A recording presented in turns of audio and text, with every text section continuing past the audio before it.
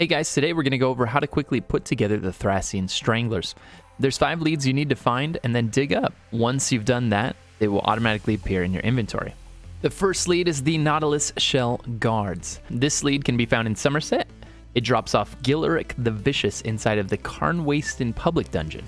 The second lead is the Inert Anemone Inlay. This can be found in Auridon and drops from the Soulfire Plateau or Heretic Summons World Bosses.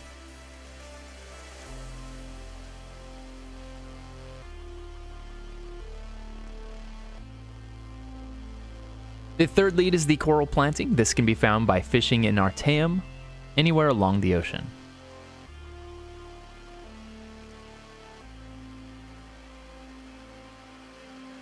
The fourth lead is the sticky integument leather.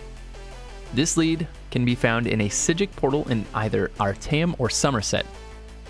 Psijic portals are probably going to be much easier to find in Summerset right now as there are a lot of people in Artaeum.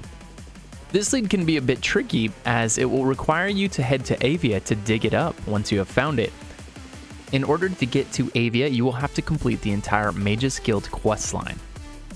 Once you have, a portal will appear at your Mages Guild in your faction city, such as Deshawn. It will look like this. Once inside, scry your lead and dig up the artifact.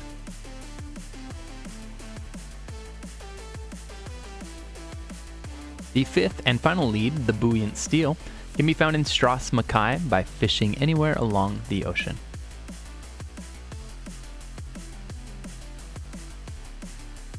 Congratulations, that's all you have to do to assemble your Thrassian Stranglers.